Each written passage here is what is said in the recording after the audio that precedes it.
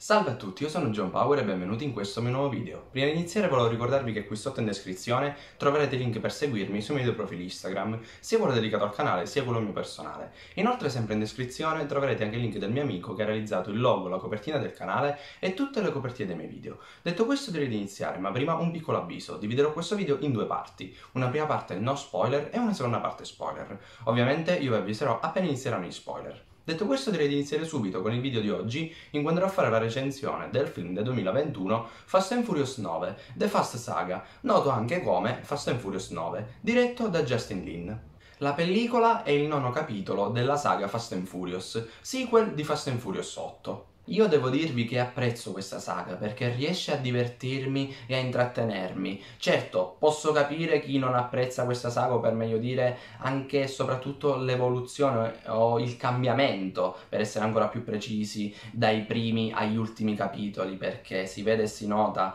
questa differenza, questa evoluzione per alcuni, involuzione per altri, ma è una cosa che io personalmente parlando ho apprezzato perché serviva secondo me cambiare un po' le carte in tavola. Certo, arrivati a questo nono capitolo qualcuno potrebbe dire basta, ma io invece voglio dire che mh, questo nono film, pur non avendomi convinto appieno, pur non ritenendolo il miglior capitolo della saga, è comunque un film che è riuscito a, eh, per così dire, mh, intrattenermi, è riuscito a coinvolgermi e non me l'aspettavo sinceramente perché partivo con aspettative bassissime, perché già dal trailer si vedeva e si capiva che questo nono capitolo sarebbe stato il più esagerato in assoluto di tutta la saga e questa cosa ve la posso confermare anche dopo aver visto il film. Infatti posso capire anche le critiche che fanno molti per quanto riguarda le leggi fisiche che in questo film non vengono minimamente rispettate, ma anche negli altri capitoli in certe scene sono state completamente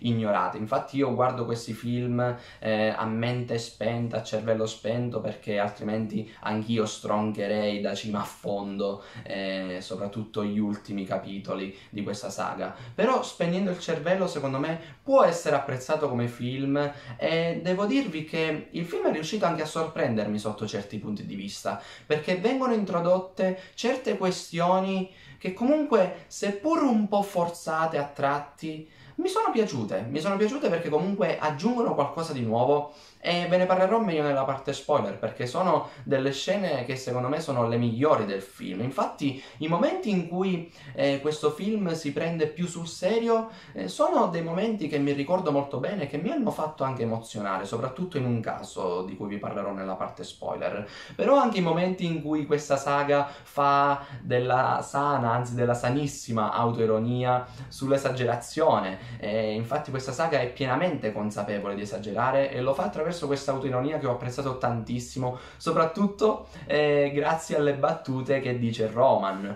uno dei miei personaggi preferiti eh, della saga, per meglio dire il mio personaggio preferito della saga insieme a colui che purtroppo non c'è più, ovvero il personaggio interpretato da Paul Walker, eh, ovvero Brian. erano, mh, mm, o per meglio dire, era lui insieme a Roman il mio preferito, ora è rimasto Roman, diciamo, nella vetta dei personaggi che preferisco all'interno di questa saga, perché Roman è un personaggio divertentissimo, con una comicità e un'ironia che apprezzo particolarmente e film dopo film riescono ad affidargli delle battute sempre più divertenti. È quel personaggio che è riuscito a non scendere mai di livello film dopo film, anzi è riuscito a superarsi sempre di più fino ad arrivare a essere il migliore in assoluto per quanto mi riguarda in questo nuovo film. Un eh, Roman che davvero è riuscito a superarsi, ve ne parlerò meglio nella parte spoiler, ed è proprio per questo che apprezzo questa saga, perché ripeto ancora una una volta, è pienamente consapevole di esagerare,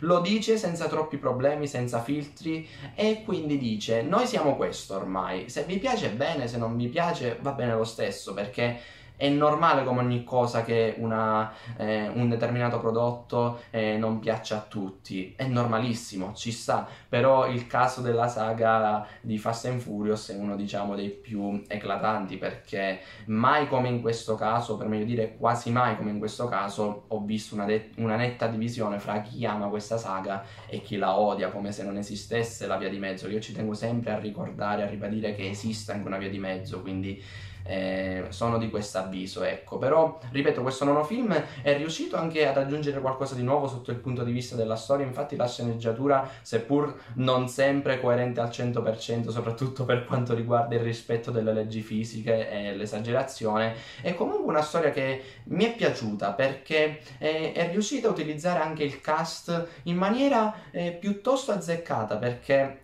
è vero, il cast di Fast and Furious non è fra i migliori in assoluto faccio l'esempio, o per meglio dire gli esempi di Vin Diesel e di John Cena che all'interno di questo film sono monoespressivi e questa cosa purtroppo si vede e si nota. Per quanto riguarda Vin Diesel anche negli altri film diciamo che la situazione non migliora, però i personaggi riescono a compensare queste mancanze proprio sotto il punto di vista delle interpretazioni attoriali, quindi è un bene il fatto che i personaggi riescano a tenere a galla eh, il tutto, dato che se ci si dovesse basare solo ed esclusivamente sulle interpretazioni attoriali, eh, diciamo che il castello di sabbia, per così dire, crollerebbe in un attimo. Però ci sono anche delle interpretazioni attoriali che ho apprezzato, come ad esempio Charlize Theron ed Ellen Mirren, che secondo me sono le due migliori interpretazioni attoriali presenti all'interno di questo film. Quindi eh, devo dire che è una saga che divide e dividerà sempre, l'ha sempre fatto e continuerà a farlo anche in futuro. Poi devo dirvi che ho apprezzato anche Michelle Rodriguez, non so perché ma durante tutto il corso di questa saga lei mi è sempre sembrata una delle più convincenti in questo ruolo da dura, da tosta. Ci sta benissimo secondo me, sono molto curioso di sapere la vostra opinione. Quindi è un film che, ripeto, dimenticherò molto probabilmente da qui a poco tempo, ma è comunque riuscito a intrattenermi, a farmi divertire come si deve, ripeto, a cervello spento, a mente spenta, perché altrimenti è impossibile valutare in maniera positiva questo film. Questo purtroppo devo ammetterlo. Dico purtroppo perché io sono comunque legato e affezionato a questa saga. Ho visto tutti i film dal primo all'ultimo, incluso lo spin-off Hobbs Show, ed è una saga che comunque porto nel mio cuore tuttora, tutt'oggi, quindi è una saga che ovviamente ha avuto degli alti e bassi, ma con questo nono capitolo è riuscita a sorprendermi in minima parte in positivo, perché mi aspettavo di peggio e invece questa saga con questo nono capitolo è riuscita a introdurre qualcosa di nuovo. Certo ci sono alcune cose forzate di cui non voglio parlarvi in questa parte no spoiler, ma lo farò sicuramente nella parte spoiler, alcune cose che non mi sono proprio andate giù, mentre altre le ho proprio apprezzate anche perché risultano in un certo senso un minimo coerenti con l'evoluzione di tutta la storia e sono molto curioso di capire come proseguirà il tutto sperando che eh, il decimo capitolo non sia scialbo né noioso quindi spero solo questo. Ed è per tutti questi motivi che ho deciso di dare a questo film 3 stelle e mezzo su 5, per qualcuno sarà un voto esagerato, lo capisco benissimo, ma a me è proprio piaciuto, quindi è un gusto puramente personale e soggettivo, un film che seppur non eccelle particolarmente in qualche aspetto, come ad esempio la regia, che non ho trovato particolarmente...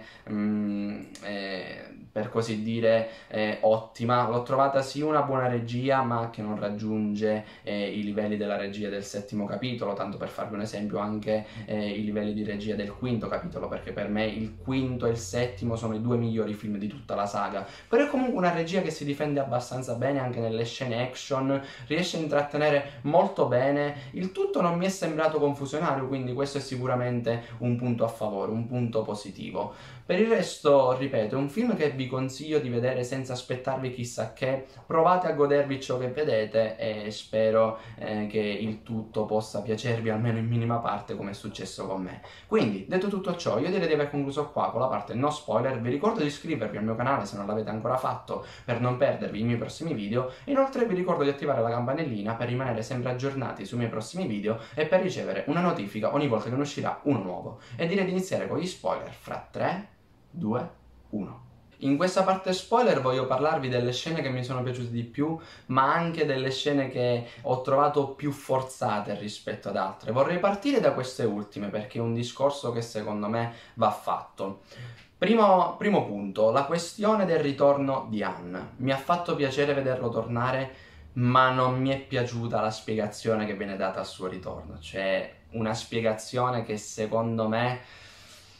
ma è un po' troppo tirata per i capelli, possiamo togliere anche un po', cioè proprio tirata per i capelli in una maniera incredibile. Potevano trovare qualcosa di decisamente migliore come scusa, però il fatto eh, di questa specie di illusione che in realtà sembrava morto quando eh, non lo è affatto, ma non, non, mi è andata particolarmente giù questa cosa, però eh, sotto un altro punto di vista ho apprezzato tantissimo la scena in cui Anne riabbraccia praticamente eh, tutta la squadra, soprattutto l'abbraccio fra Anne e Dom. Mi ha particolarmente emozionato perché il legame fra i due durante tutto il corso della saga c'è stato, è come se c'è stato, e questa reunion, per così dire, eh, mi è piaciuta particolarmente. Questa è sicuramente una delle migliori scene del film. Poi altre scene del film che mi sono piaciute davvero davvero tanto sono eh, quelle dove vediamo il passato di Dom attraverso dei flashback che ho apprezzato perché eh, ci fanno capire il concetto di famiglia importantissimo per Dom che gli è stato trasmesso dal padre che vediamo attraverso questi flashback eh, vediamo anche la morte del padre e il motivo per cui è morto quindi eh, la causa scopriamo che è proprio il fratello di Dom interpretato da John Cena eh, che quindi si farà vedere in questo film e ci sarà questa rivalità fratello contro fratello. Poi scopriremo anche che in realtà le motivazioni della morte del padre di Dom sono legate a una volontà eh, che è propria del padre eh, di Dom che ha chiesto eh, al fratello di Dom di eh, diciamo fare quella cosa proprio perché eh, il padre voleva perdere quella gara anche per una questione di debiti e tutto quanto e diciamo che questa cosa mi è piaciuta come è stata fatta mi è piaciuto l'approfondimento attraverso questi flashback del personaggio personaggio interpretato da Vin Diesel, ovvero Dominic Toretto, però Devo dirvi che il modo in cui è stato introdotto C- il personaggio interpretato da John Cena, quindi il fratello di Dom, anche in questo caso l'ho trovato un po' forzato, meno del ritorno di Anne, ma comunque il tutto poteva essere fatto in maniera decisamente migliore, perché comunque si vede e si nota che eh, il personaggio interpretato da John Cena è stato inserito in corso d'opera e non era stato pensato dall'inizio, perché il fatto che comunque Dom non lo citasse minimamente eh, ci potrebbe anche stare perché comunque per lui è come se non esistesse suo fratello, ma comunque proprio mh, mm, non c'è la minima eh, citazione, la minima menzione di questo personaggio nel corso degli altri capitoli, proprio così sbuca fuori all'improvviso. Ed è una cosa che posso capire, ma che secondo me poteva essere resa leggermente meglio per renderla un minimo più coerente con tutto il racconto, non solo di questo nono capitolo, ma di tutta la saga. Comunque non mi ha dato particolarmente fastidio questa cosa.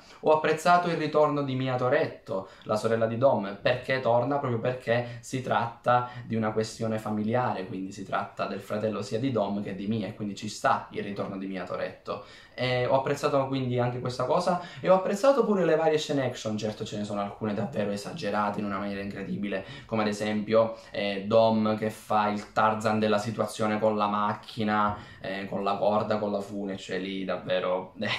leggi fisiche completamente dimenticate, però devo dirvi che ho apprezzato tantissimo, come ho già detto nella parte no spoiler, le battute che fa Roman. Roman per me è un grandissimo personaggio, c'è poco da fare, cioè se tolgono lui per me la saga perde almeno l'80% del valore, eh, perché in questo nono capitolo Roman è praticamente quello spettatore che si fa mille domande. Siamo noi che diciamo: ma come fanno questi a non farsi nulla, a uscire indenni senza, ness- senza nemmeno un graffio? Cioè, come fanno? Sono invincibili? Sono esseri umani o sono supereroi? E le varie scene in cui Roman dice queste cose mi hanno fatto letteralmente morire dalle risate. Ed è qui che io ho capito che la saga è pienamente consapevole di esagerare. Lo fa volontariamente pur non piacendo a tutti, ma comunque lo fa, porta avanti questa cosa. Ed è una cosa che sotto un certo punto di vista io apprezzo, perché comunque fa autoironia su questa cosa, lo fa continuamente, anche la parte in cui vanno nello spazio, cioè che tutti dicevano in continuazione, ora ci manca solo che questi eh, vadano nello spazio e ci sono andati davvero e quella secondo me è stata un'altra scena inserita apposta proprio per eh, andare oltre la semplice esagerazione, cioè qua si va proprio oltre, qui pure c'è Roman che dice siamo nello spazio, cioè ci stiamo rendendo conto, è praticamente quello spettatore, come ho detto prima, che si fa mille domande a cui non può rispondere perché sa di non poter rispondere. Davvero, questa è la bellezza eh, di questo personaggio. Roman per me top personaggio di questo non ho capito, ma proprio a mani non basse ma bassissime perché è davvero eccezionale, è geniale, c'è poco altro da dire su questo personaggio. Per il resto ho apprezzato anche il confronto fratello contro fratello, poi mi aspettavo che il personaggio interpretato da John Cena passasse per così dire dalla parte del bene, eh, anche se ovviamente eh, dovrà redimersi. Io penso che comparirà anche in altri capitoli, vedremo, ma ne sono convinto e sicuro di questa cosa. Per una cosa che non mi è piaciuta è la poca presenza di Charlize Theron all'interno di questo film, perché nell'ottavo capitolo era una delle cose migliori, grazie anche e soprattutto alla sua bravura, e in questo nono capitolo compare poco, ma quelle poche volte in cui compare ruba letteralmente la scena a tutti gli altri. Stesso discorso per quanto riguarda Ellen Mirren, altra bravissima e grandissima attrice, quindi è un film che, ripeto, ha dei pregi ma ha anche dei difetti e di questa cosa ne sono pienamente consapevole proprio come la saga stessa è consapevole di tutto ciò. E davvero ho apprezzato anche il finale in cui c'è il ritorno, a mio parere, davvero molto simbolico di Paul Walker che si, che si unisce alla tavola, per così dire. Questo ritorno simbolico di Paul Walker mi è piaciuto tantissimo perché vediamo quella macchina blu arrivare eh, che c'è appunto Dom che dice c'è ancora un posto a tavola, diceva una cosa del genere se non ricordo male, e subito dopo vediamo questa macchina blu arrivare in quel posto e fine del film. Mi è piaciuta moltissimo questa cosa, così come ho apprezzato anche la scena post credit che mi è piaciuta tantissimo, in cui vediamo Jason Statham che sta, si sta allenando con un povero malcapitato e interrompe questo allenamento perché qualcuno bussa qualcuno bussa e quel qualcuno è Anna. E questa era una delle cose che volevo vedere, che sono curiosissimo di vedere eventualmente nel prossimo film. Il confronto fra Anne e il personaggio interpretato da Jason Statham, quindi Show. Eh, ed è davvero una cosa interessante perché è stato proprio Show a provocare, a causare l'incidente dell'apparente morte di Anne. E sono curiosissimo di vedere come verrà portato avanti il tutto, questo confronto, questa rivalità per così dire la trovo davvero molto interessante, sarà uno degli aspetti fondamentali del prossimo film, di questo ne sono pienamente convinto e spero che il tutto venga sfruttato bene perché in questo non ho capito, è vero che ci sono dei difetti, ma comunque eh, ci sono anche dei pregi sotto il punto di vista della coerenza in certi casi della storia, mentre in altri ci sono alcune cose che secondo me potevano essere sfruttate, gestite, costruite sviluppate in maniera decisamente migliore. Ma comunque, eh, ripeto, è un nono capitolo che non è fra i miei preferiti della saga, ma è comunque riuscito a sorprendermi in minima parte, in positivo. Quindi, detto tutto ciò, io direi di aver concluso qua con il video di oggi e ci vediamo alla prossima. Ciao!